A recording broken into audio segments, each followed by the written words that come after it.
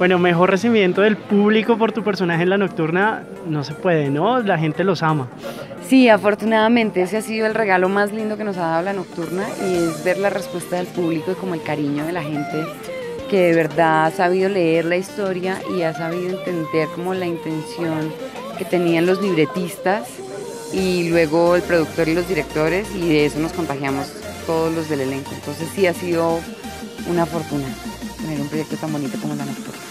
¿Y ya terminaron de grabar o siguen grabando? Ya terminamos de grabar tristemente. Em, pues bueno, la seguimos viendo, eso sí, y la comentamos todos los días. Tenemos un grupo de chat de los actores y los productores y los libretistas y hablamos de los capítulos. Seguimos igual muy conectados y muy pegados de la historia, porque fue una historia que nos robó el corazón a todos Había miedo de una historia blanca porque finalmente es totalmente transparente la historia, ¿no?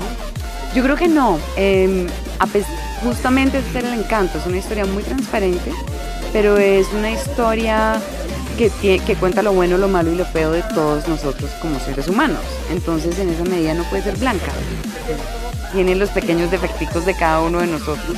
Eh, creo que ese es el gran gancho y el gran éxito de esta historia que escribió Ana y, y Vivanco, que escribieron ellos, que son par de genios escribiendo esta historia. Y ahora cuéntanos un poco de esta obra, cuánto llevas ensayando, de dónde sacaste tiempo.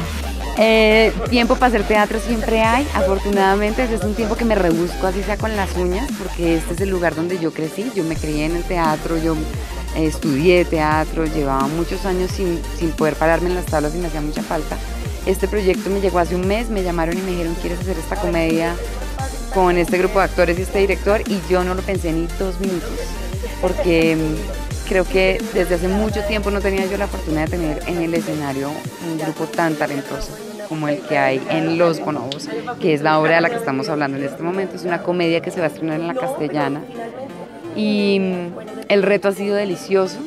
Los ensayos han sido duros, llevamos un mes de ensayos de mínimo ocho horas diarias, em, dándole fuertemente a esto, pero con un grupo talentoso y divertido el tiempo pasa rápido, entonces nos va bien. Además hay mucha convinchería, ¿no? Los hemos visto muy unidos, hacen chistes y eso no, no, pasa todo el tiempo. Sí, afortunadamente nos hemos convertido como en una familia Ahí somos como un montón de niños que se hacen bullying todo el tiempo entre ellos y nos mamamos gallo, pero todos siempre como con mucha em, amistad y con mucho cariño y mucho respeto por el trabajo de cada uno. Entonces ha sido delicioso trabajar aquí, ha sido como súper refrescante. Y en televisión te vamos a ver, estás casteando, ya hay proyectos. Eh, televisión por ahora estoy calladita esperando a ver si sale algo ya les contaré. Eh, hay un par de castings y proyectos por ahí, pero por ahora estoy aquí centrada en este estreno que se viene esta semana de Los Bonos.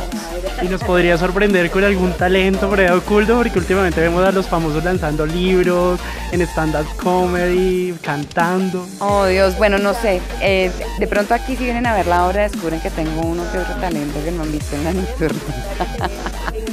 Invitemos a toda la gente de Periódico El Amplificador para que los acompañe en esta temporada. Bueno, pues a toda la gente del Amplificador un saludo muy especial. Yo soy Jimena Durán y los invito a que nos acompañen en el Teatro Nacional de la Castellana viendo Los Bonobos, una comedia divertidísima que se presenta de jueves a domingo. Aquí los esperamos.